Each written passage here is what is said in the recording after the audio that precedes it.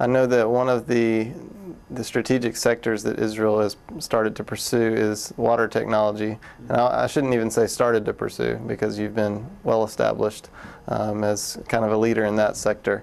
And I know that uh, I've interviewed the, the head of um, the, uh, the authority there that's in charge of that. And uh, th- that's obviously something that, that Georgia can, can learn from.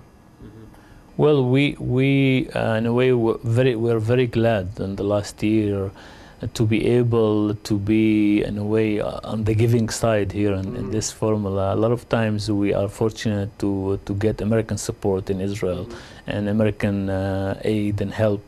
And in this issue, it's one of several issues that we're now active in Israel in a way is on the giving side. Uh, it's, it's water sources, clean energy, and homeland security. These are three clusters that we're very active in. And in most of the time, you're talking about bringing here Israeli know-how. Uh, in terms of uh, the water, uh, the drought that the state passed uh, in the last couple of years is something of a normal uh, uh, daily issue in Israel. Mm-hmm. we live in a quite dry climate. We had to understand, even this, before the state was established, mm-hmm. that you have to be very sophisticated and diverse in managing and creating water sources. And so in Israel, we have used everything. We have uh, big companies uh, very strong on desalination. We, we have uh, an entire city in the south of Israel, city of Eilat, uh, lives on a desalination plant from the Red Sea. We're building now another five of them along the Mediterranean.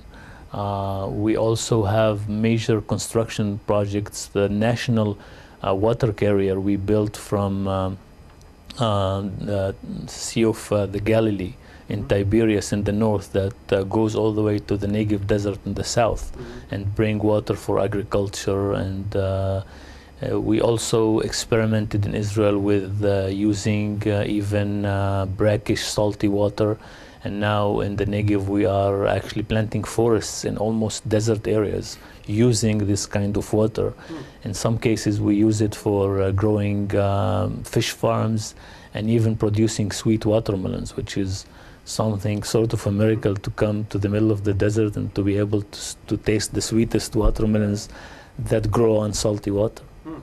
That's interesting, especially um, as it pertains to your exports. I think they've export you've exported over two billion dollars or something like that in water technology in the in the past ten or twelve years or something.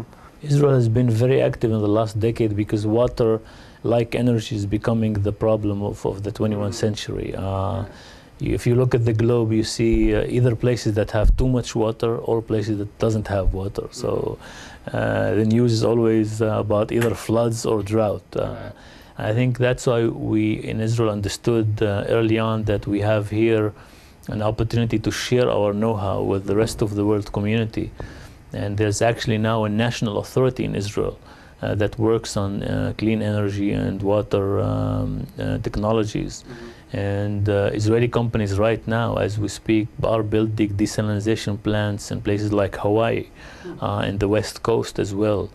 Uh, they are involved in one of in some of the biggest water projects around the world, and I hope uh, that we will see some of this here in Georgia. Uh, last year, with the help of the Israeli Chambers of Commerce here in Atlanta, we uh, brought 14 Israeli companies uh, that uh, came and shared their know-how and communicated with water authorities in the states. And, and this is not an issue that's going to be away from the table, even if you have sometimes you know, a good season.